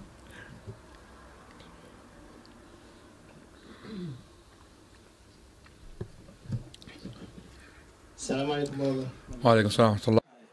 I just want to make uh, some. Uh, sorry, my English is, is little No problem. bad, Yeah. yeah, you were talking about uh, uh, uh, many different uh, uh, aspects of Muslims, like uh, uh, Hanafit, Malikit, and Salafit. Yeah. And, uh, uh, what we believe that Ha- the Hanafit, yeah, they are Salafit. The Malikit, they are Salafit. And the Salafi, uh, they are Salafit as well. Yeah. But Sufit, if you are talking about Sufit who uh, who worship the graves, I don't think they are Muslims. If they are talking about some Sufit who got some bid'ah, Yeah. they are kind of uh, of Ahl Sunnah wal Jama'ah. Yeah, yeah. Second point is about the, the parliament. Yes, you were Let, talking. let me address the first point, Oh, then you yeah. can come because uh, let me address the first question, Yeah, go and then you can. Uh. the the issue is uh, with you're right. You know, all people who follow different schools of thought, Hanafi, Shafi, Maliki, Hanbali, Salafi, whoever they are, they claim to follow earlier authorities. No problem with that. With regards to Sufism, Sufism is not homogeneous. It is not one group of people. Sufis have different types and categories. Some Sufis, um, you know, are not as extreme as others, as you already clarified. Uh, you know, some kind, some types of Sufism are simply not acceptable, uh, even by the Sufis themselves. Some Sufis say that the other Sufis they are completely gone. So you're right. I agree with you. Uh, I'm talking about people you can work with, people who are close to you, people we have differences with on minor issues. We should, and we are the majority. That means the majority of the Muslims. We should work with each other. Next point. Yeah, yeah, yeah, Second point is when you were talking about parliament, yeah, and you mentioned uh, Ja'far ibn Abi Talib radiallahu anhu. yeah. Ja'far ibn Abi Talib, when he was talking with uh, the king, Hmm. he was just uh, talking with, with, with him. And uh, my point is, uh, if you want to go to the, the parliament and uh, raise an issue for about Muslims, Yeah. there's, there's no problem with with Islam. But if you go to the parliament as an uh, as an uh, like uh, Lawmaker. Lawmaker, Yes. and you do legislations, Yeah. that's, this is against Islam. No, I- It's against Tawheed. I, I, I, That's the major point. I, I see your point. yeah. you. No, I uh, let me clarify. You, if you go to the parliament, you are not there to make laws. You don't have to make laws. You can simply sit there, and if there is a law that's being proposed, uh, which is, for example, against Islamic values, yeah, you don't have to participate. You abstain. No, brother, is legislation itself. No, I'm saying You don't have to do the legislation. Yes, I- you, you are legislator. If you are in the one, or if you are one element of the parliament, you are the legislator itself. This is, is for Allah Subhanahu wa Taala. I, I know what you. I, I know exactly what you're saying. Sorry for my English. No, no, no. I understand. It was in Arabic, I will explain my. I understand your point. I'm saying that just being in the parliament doesn't necessarily mean you have to legislate. You understand? If you understand the system, you can sit there, okay, and when legislation is taking place, you can simply abstain. Abstain means don't take part. For example, if uh, if if the parliament, if the parliament is passing a law, for example, okay, uh, like for example, you are uh, in a in a in a gathering of non-Muslim leaders. For example, there are non-Muslims, and they have their leaders, and you are sitting in the gathering as the Muslim representative. Yes? You are there to represent Muslims. But non Muslim leaders are discussing their own issues, for example. And they're discussing in between themselves that we should do this, we should do this. You, as a Muslim leader, you don't have to take part in that. You can sim- simply sit quietly. But when your turn came, comes to represent the Muslims, you can talk for the Muslims. And you can, if they are talking about something good, if non Muslims are proposing something good, you can take part in it. For example, you know the issue of Hilful Fadul.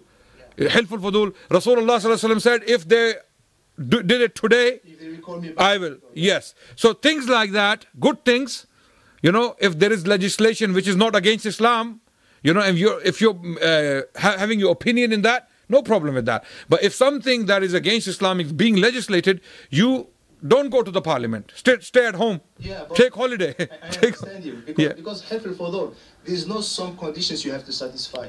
yeah. And like now, and now you have you have to satisfy some conditions to Yes, I agree. I agree. Look, where respect the law Yeah. and follow the law and you see this issue, you are part of them. hmm, there are scholars. Even you are against, if you are, even you are like uh, not with the government. Are, uh, There are some scholars yeah. some major scholars, big scholars, who uh, have a disagreement on this issue. Some scholars say it is okay to go to the parliament and, and take وَتَعَاوَنُوا عَلَى الْبِرِّ وَالتَّقْوَى وَلَا تَعَاوَنُوا Okay, or uh, the issue of Hilf al-Fadul, let's use it as an example, or even the issue of Najashi, or even Yusuf alaihissalam working with the king. Some scholars use these examples as dalil to go and do good, not bad, good in the parliament. Others say no. The view you're saying, your view, they say no, you should not be there. So I believe my view is that we as Muslims should be there to have our say. We should speak when we have to, and we should abstain, not say when we should not. You understand? If something wrong is taking place, if a wrong bill is being proposed, if an oppressive bill is being approached, oppo- uh, uh, uh, sorry, proposed, we do not, we don't have to take part in it. We simply abstain. That's it. So you have a view, I have another view. So, uh, and inshallah, we can talk about this. is a long discussion. we can talk about it afterwards, inshallah ta'ala. Yeah. But, but know that there are ulama, ulama on both sides. They have both views. One can be wrong, one can be wrong, right. I, I accept that. But my view is that looking at the bigger picture, okay, if we as Muslims do not participate in politics, we are destroying ourselves with our own hands. Just because we, you know, have this view that we should not be there. If you're not there, then don't blame anyone else. Thank you, brother. Yeah, okay? Yes, please. I think what he's trying to say is it's not as simple as not but going to participate like, like law. In order for you to participate, you have you have to you have to um, how do I put it into words? You have to agree with certain things that they do. No, you, Against no, you don't have to. For example, so give me. you're saying anybody here can just go into the parliament right now and post his views, and if there is something against Yes. he can he can leave. Yeah, if you're elected, go to the parliament and sit there and In say, order for you to, to be elected, Yeah. is there anything against? Uh, I don't want to put into words. I'm just trying to think. in the process, you're talking I'm about. talking about the process of being elected. Okay, wha what's wrong with it? Tell me. Where's the problem? No, I'm not saying there is a problem, but Yeah. I'm saying there, there could be a problem. If there's a problem, don't do it. Find find another find find another way. There are so many other ways. One of the ways is influence economically. That's another question I wanted to discuss. Economic uh, or entrepreneurship. There's a brother is talking about Muslims if they are strong business people and if they can influence politics through media, through education, through economic uh, prosperity, you can do it by any means. The point is, don't sit idly. Don't sit and watch your people being demonized and misrepresented on a massive scale. Because what happens as a result is what happened in Germany, the Holocaust. You know what happened in Germany? Study the history. What happened to the Jewish people in uh, during the Holocaust? How was Hitler able to destroy so many people in such a short span of time? How? How? Because he was effectively able to demonize an entire community of the Jewish people and he destroyed the community. Whether it was 100,000 Jewish people or um, 6 million Jewish people is not important. To me, even one innocent person dying is, is not is bad, right? So my point is participate. If there is a problem with the process, if the process is openly non-Islamic and it constitutes some sort of disbelief, then don't get involved in it. I'm telling you. But if there is no such thing, then the fault is yours for not getting involved. Okay? So consult the ulama, speak to the scholars, and don't just speak to one scholar. Go to a number of different scholars and ask Allah for guidance. Allah will guide you. When you have an open mind towards something, Allah opens doors for you. Just take the step, take the step, move towards a good direction. Allah will open doors for you, inshallah ta'ala. Okay? This brother Yes, please. Here.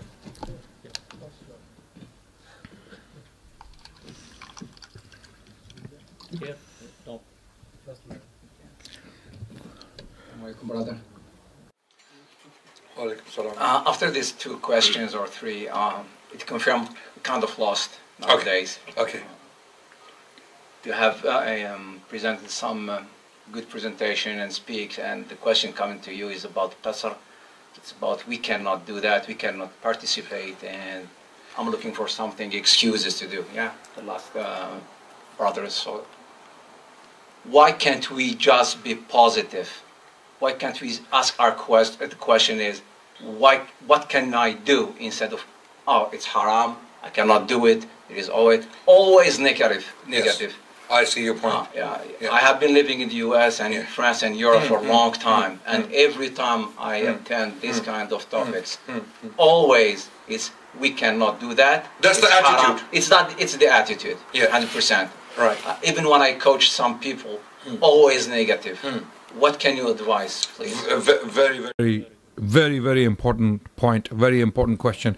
Generally, I'm saying not uh, in every case, but generally, Muslims nowadays suffer from this disease of negativity.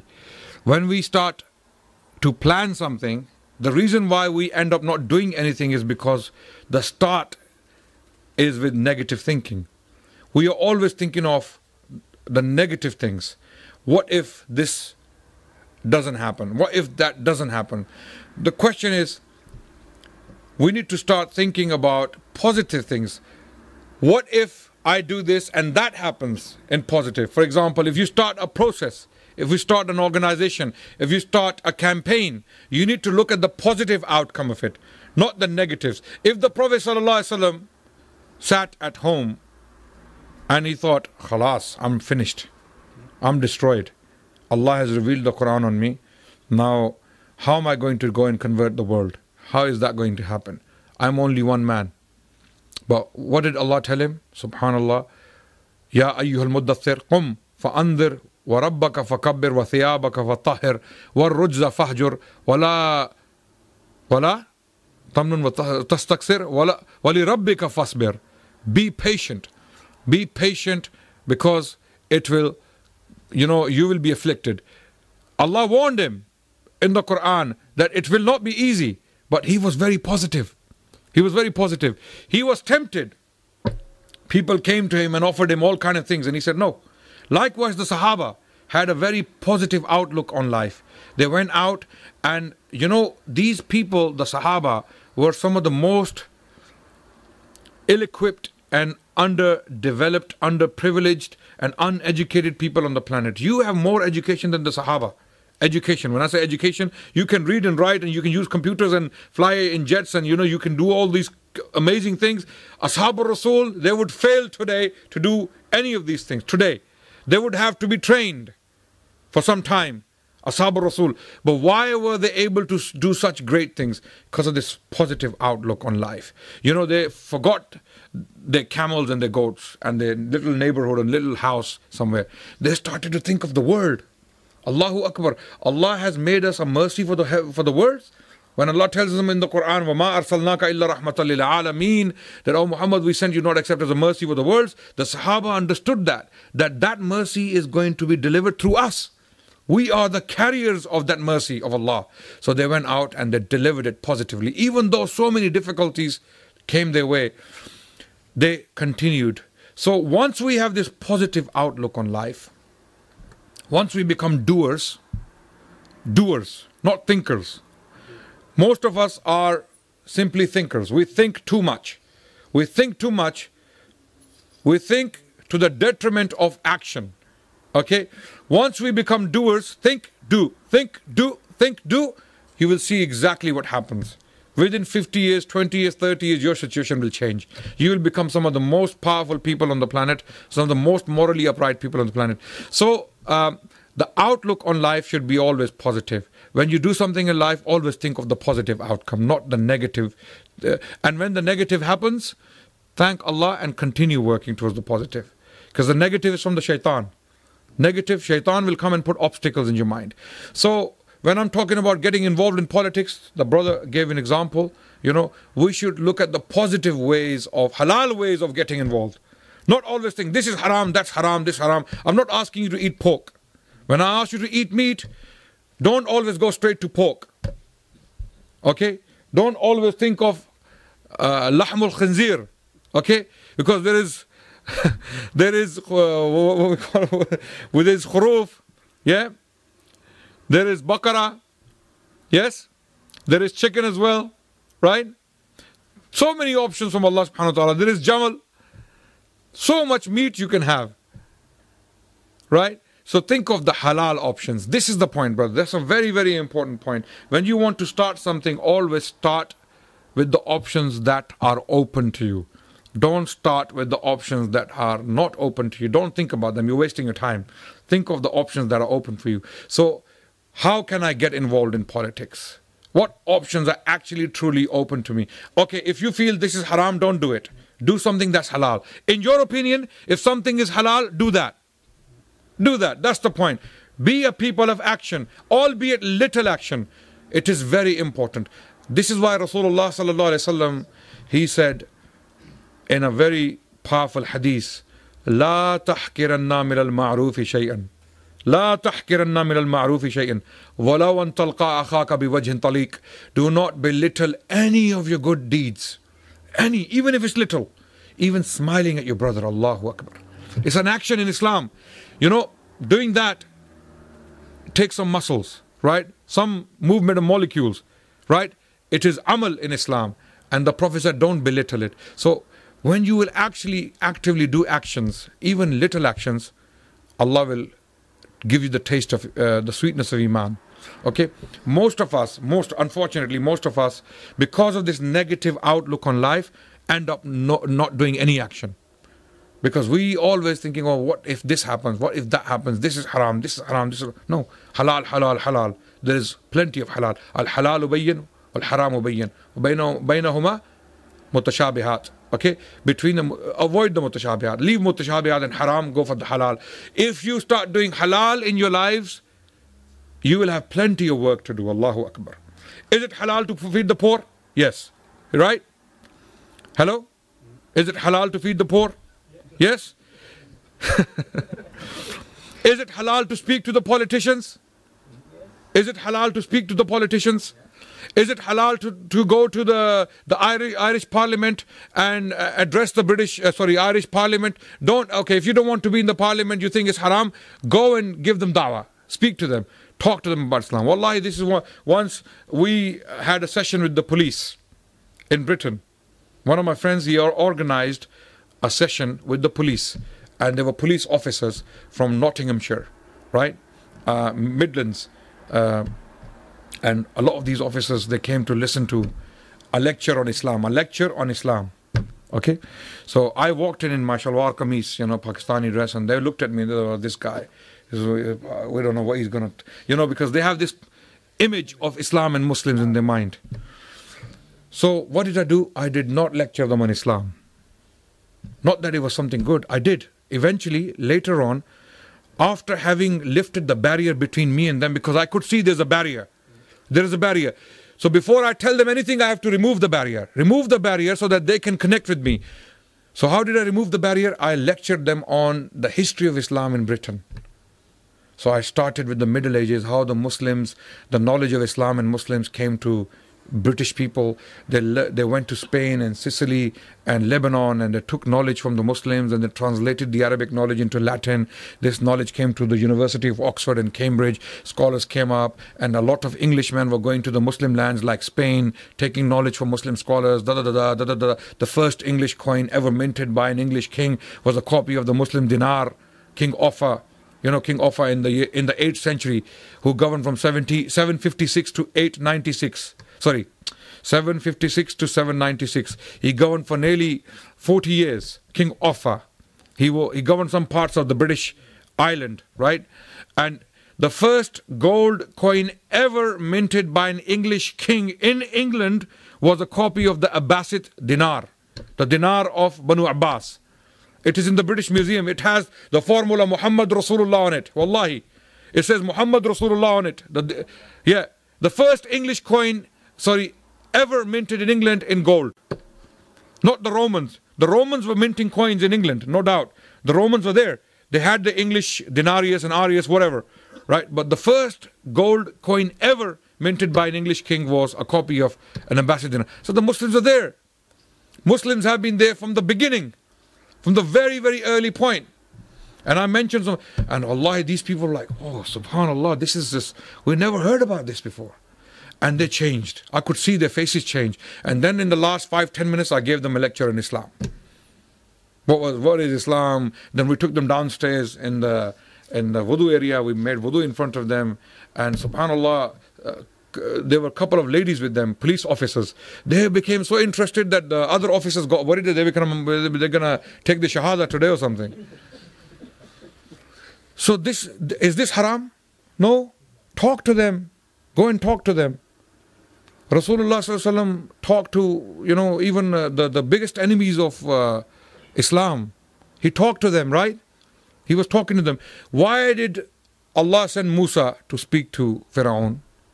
Go and speak to him. Go and speak to him. Try to convince him. So this is the these are the positive things we can do. Halal things, halal. So always think of halal, positivity, and Allah will open doors for you. Okay. If some a negative thought comes to mind, remove it.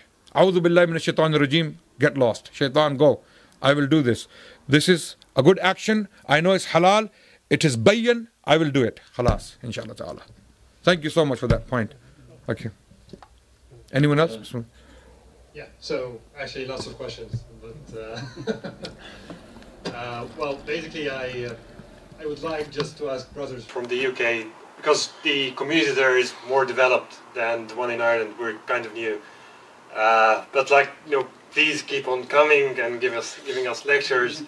It would be really good if we you know gain from your experience like you were saying about getting involved in politics and you know in, in, econ- in economics it's really important for us to do so Okay. so i would just request like you know try to uh, visit us a lot and uh, just before the borders come out between us and uh, the uk even, even, if, even if the border comes up, uh, the border cannot. brexit so Yeah, yeah, yeah. The, even, even, even if the border comes up, no problem. We will be visiting, inshallah ta'ala. And likewise, vice versa. We have so much learned to brothers from Ireland. Brothers from Ireland should also come and visit us. Uh, there are so many organizations uh, who are working in Britain. Maybe a, a team of brothers can come to Britain and work with the, the brothers brothers in Britain and learn from them and teach them as well at the same time. And we have some uh, projects going uh, in Africa as well. So if a team of brothers from Ireland want to do some work in Africa, I will facilitate it. I will make sure the arrangements are made in places like Uganda and Malawi. Go and do dawah there, and you will learn a lot there. So get international. Wake up, come out of your bedrooms and start doing something, and Allah will open doors through you you cannot imagine. Allahu Akbar. Ashab Rasul, people of camels and goats, they could not even in the wildest of dreams imagine. You know, Abu Huraira, who used to starve in front of the door of the Prophet ﷺ, once he was wa- walking around with a bag of gold, bag of gold in his hand, and Umar saw him. You are the same person who used to be lying in front of the Prophet's door for four days without food. And Abu Huraira states that there were times when I was flat on the floor, on the ground, and people have surrounded me and talking about me. Whether he's alive or dead, I could hear them, but I didn't have the energy to respond. And same Abu Huraira walking around with a bag of gold. Right? Allah opened doors for them they could not imagine. We just need to come. And sometimes, you know, you need to start something to inspire others. Because everyone is looking at each other. Maybe he should do it. Maybe he should do it. Africa, not for me. You go. No. Maybe everyone who is thinking of it, start doing it. Start doing something small and it will become big. If you're sincere, Allah will make something big out of it. Huge. Look at Tablighi Jamaat. I do not agree with a lot of things. Uh, and they, I love the brothers. Their dedication, their, their beautiful manners. We have so much to learn from Tablighi Jamaat. Wallahi. Okay? Look at the dedication. One man in the 19th century early 20th century, Maulana Ilyas, he started going around giving dawah to people. If he was brought today back from his grave and shown what's happening in Bangladesh and Delhi and in Pakistan and some other parts of the world, the amount of millions of people who are part of the same campaign, he would maybe he will go, he will die again out of happiness. That how Allah subhanahu wa ta'ala has made his movement so big. Right or wrong, you may disagree with a lot of things that Tablighi Jamaat brother do. You know, maybe maybe you don't agree with the way they teach, or the maybe the way they do things, or maybe they are so rigid in their ways. Maybe you disagree with that. But the point is, there are so many beautiful things about them. So many beautiful, good things about them. Again, the negative thing.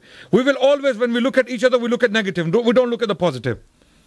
We don't encourage each other. Oh, subhanAllah, Aki, you're so beautiful. There are so many good things about you. Encourage each other. Lift each other's spirit. Say, brother, you're, mashallah, you're doing so well. Maybe you can do this as well. Allahu Akbar. The brother will. But if you go to, oh, what are you doing? This is all bakwas. Okay, I don't want to know you. You see, this is how we are. Positive. Khalid bin Walid, the man who killed 70 Sahaba in Uhud. The Prophet ﷺ, did he say, this Khalid, he's in Jahannam, he's finished? No. He said, if Allah used him for good, it would be so great.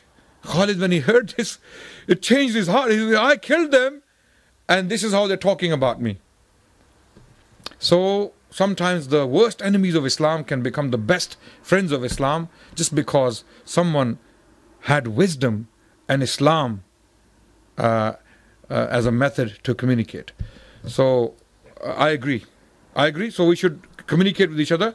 Invite us. We will come, inshallah. Whenever you invite us, we will come. And uh, you are more than welcome uh, to visit us. We will invite you as well, inshallah ta'ala. Inshallah. So now for one of the questions. So basically, how, what's your experience or advice on, you know, trying to deal with um, like split of effort?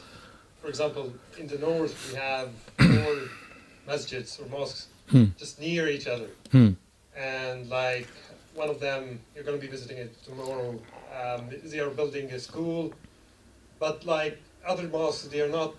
I mean, instead of trying to buy land, I'm not talking about this one, by the way, but I mean, instead of trying to buy land and you know build a new masjid, just why like I how can we advise you know Coordination. coordination? Yeah, yeah. Instead of splitting the effort and the money between like four different ones, just you know how can we speak we, we, we start with we start with the easiest things. We start with the things that are easily doable.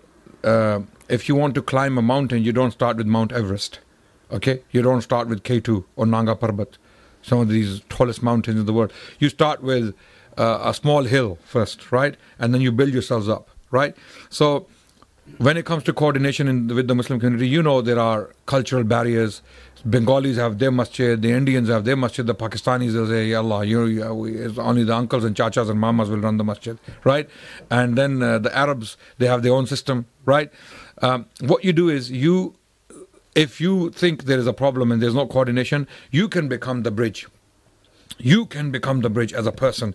You can go to all four masjids, all the, the leadership, and start doing positive projects. Tell them, look, this is nothing sectarian, nothing about your power and your committee and taking the masjid uh, funds from you.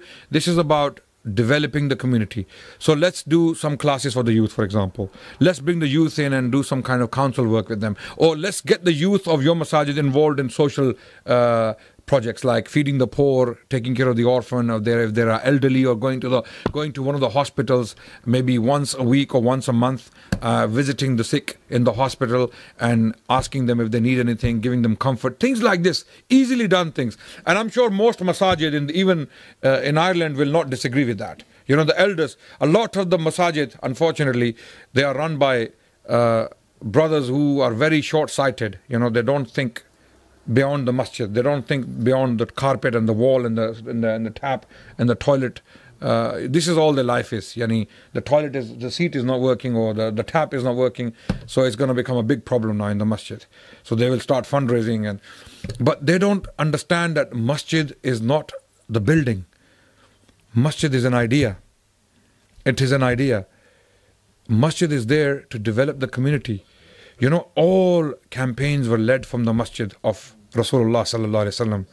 Every time someone came to discuss politics, social problems, or other issues, from marriage to divorce to to uh, to digging a canal or taking care of the the agriculture of Medina or the mountains of Mecca or securing the the routes of the pilgrims. Every single thing was discussed in the masjid with Umar bin Khattab and other khulafa sitting in the masjid.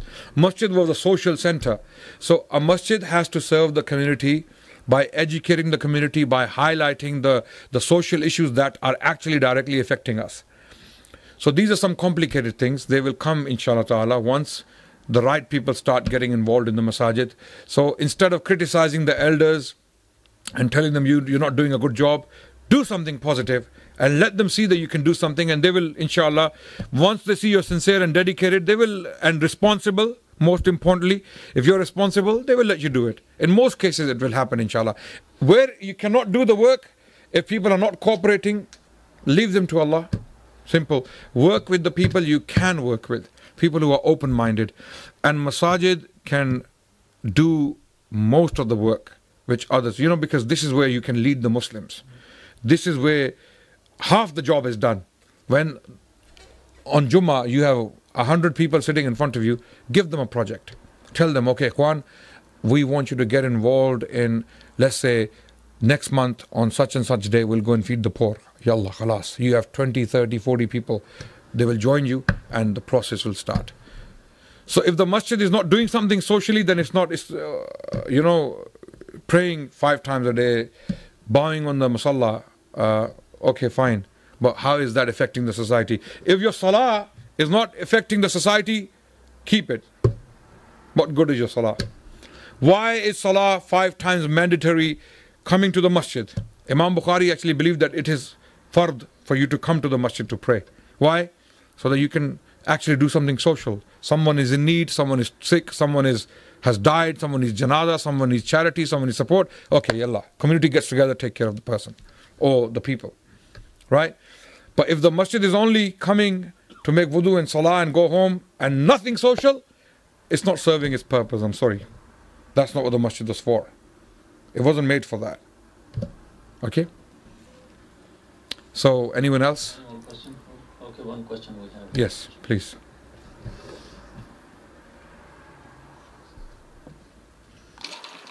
Jazakallah khair, brother Adnan. You came to Ireland.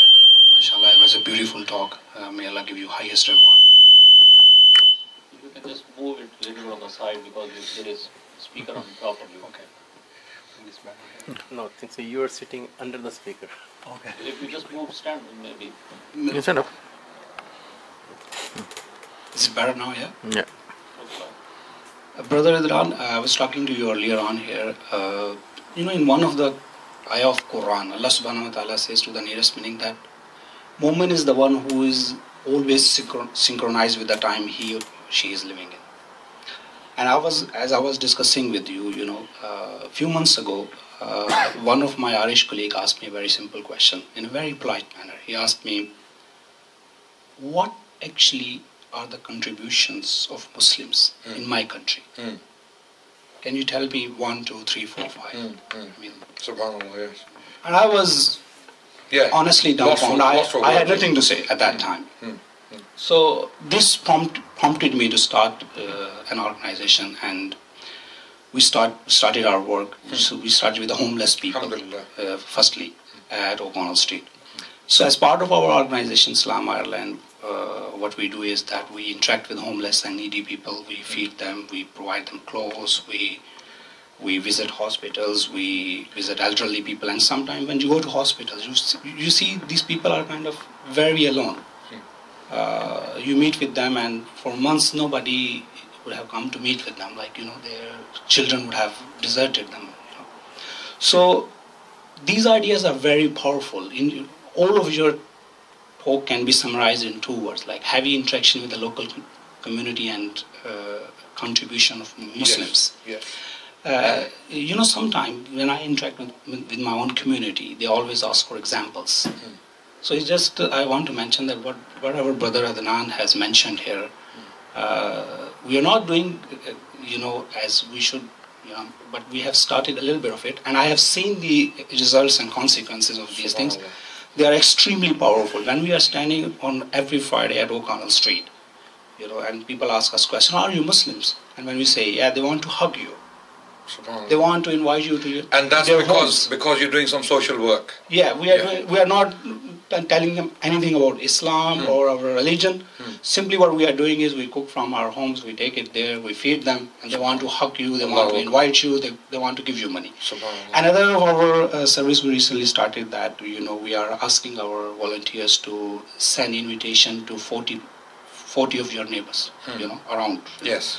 So what I did was, as, as an experiment, I wrote a letter to 40 of my neighbors, dear neighbors.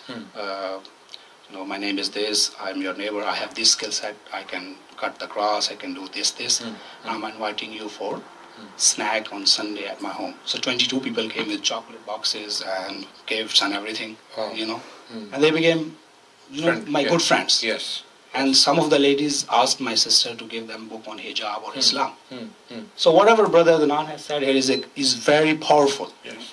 You know, because we are a new community in Ireland and not a lot of people are actually doing that. And we Hmm. Are struggling. Yes. Honestly telling you. Yes. We don't have a lot of team Hmm. or you know, we don't have a lot of money. Hmm. Hmm. Uh, all we have is, is an idea and some of our people are very passionate. Yes. Some of them are from Trinity or Royal College of Surgeon here. Hmm. So if you people want to join us in on O'Connell Street in, in, in our project, I mean, you're all welcome. Thank you. Thank you so much for that. And this is an opportunity for everyone listening to me right now that, you know, you cannot imagine how much impact small things like that can have on people. Small acts of kindness. As I said, kindness never dies. It will never die in the memory of the people.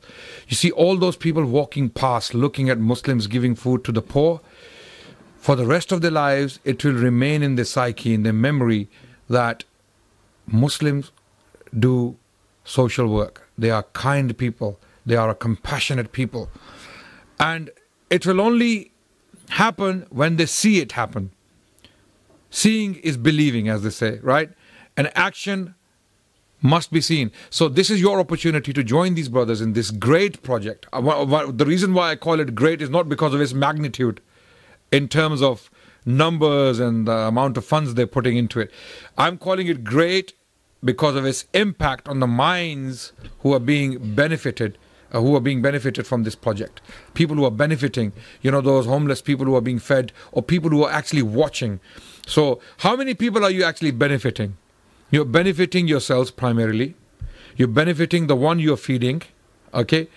And you're benefiting the one who's watching you feed that person so how much benefit there is in such work cleaning someone's driveway or if someone needs help, if there's an elderly woman or a man carrying bags, go up to the person and say, okay.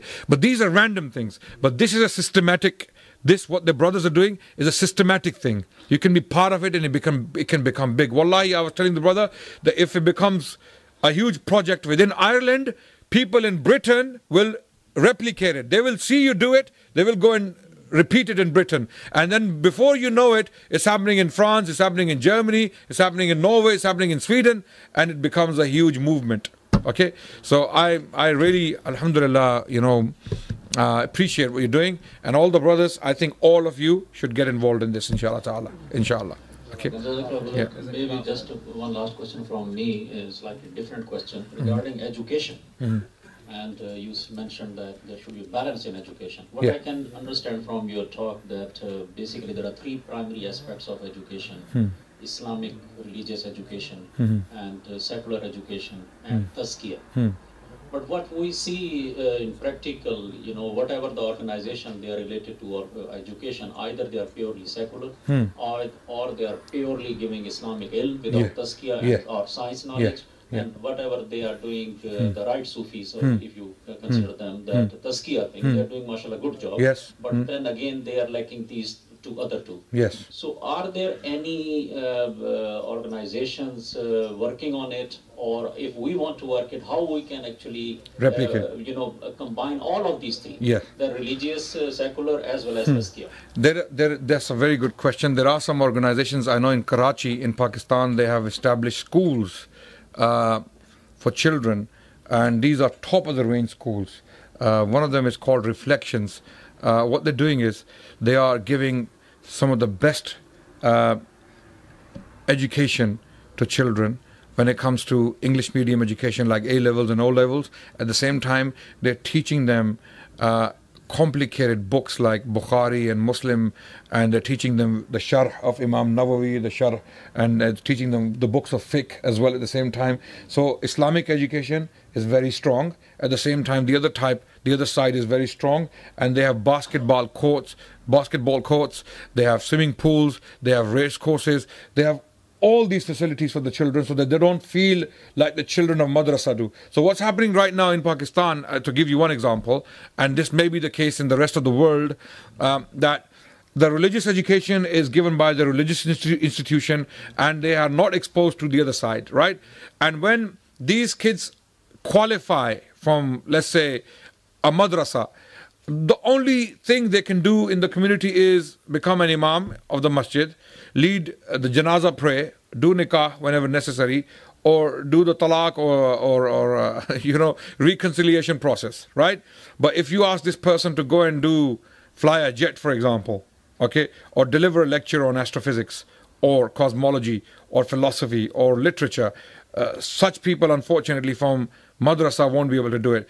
But when it comes to these sophisticated subjects, a person who has no connection with Islam, who's possibly an agnostic or an atheist, teaching your Muslim children in a Muslim country will influence them heavily. So, because he's intelligent, because he's educated, because he's eloquent, and they don't see, unfortunately, that from the other side, they think this is what we want to be.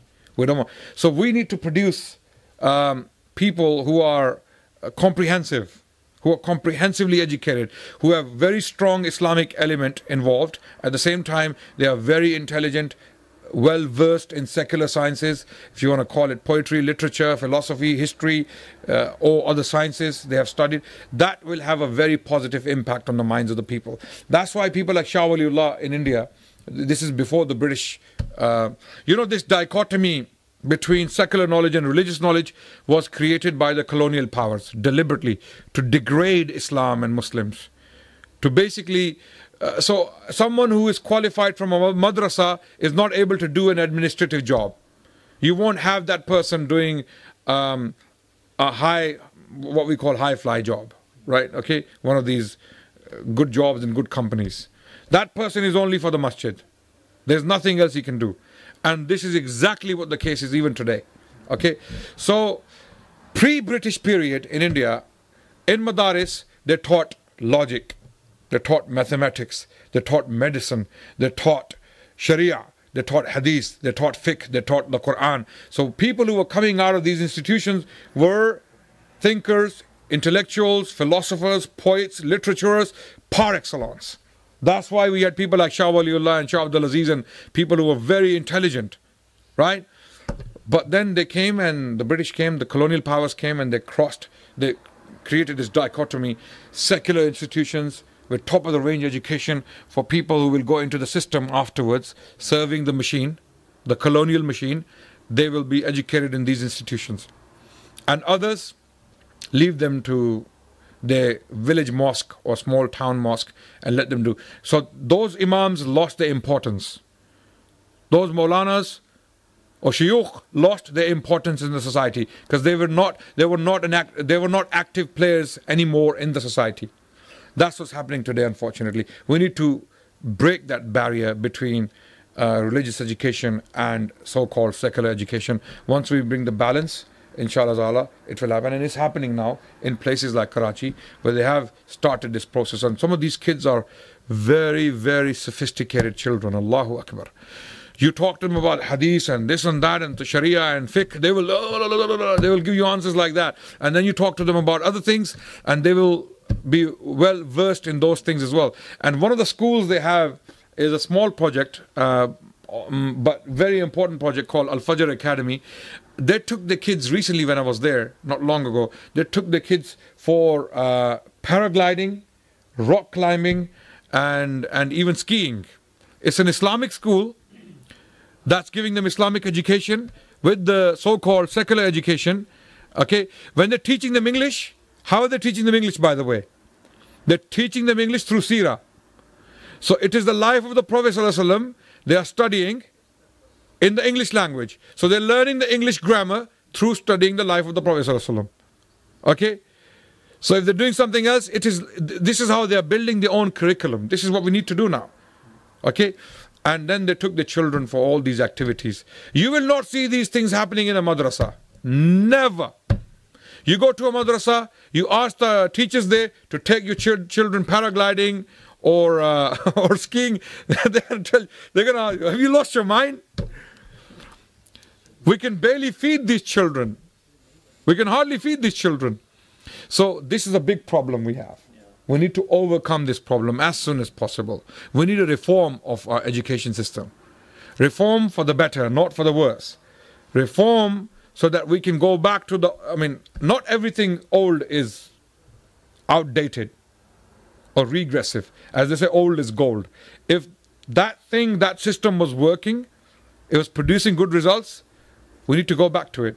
You know, some of the best scientists during the Muslim golden age or the, the golden age of the Islamic civilization, you know, people like Ibn al-Haytham or Abul Qasim al-Zahrawi or even Ibn Rushd, the man who actually introduced Aristotle to the West. Ibn Rushd, the author of Bidayatul Mujtahid. You know, there's a big compendium he wrote, encyclopedic work on uh, on comparative jurisprudence. His name is Ibn Rushd, also known as Averroes in the West. Right? Uh, he was the Qadi of Maliki fiqh in Cordoba. He had troubles for some some of his philosophical views, no doubt, but he was a philosopher thinker, theologian, faqih, imam, muhaddis par excellence.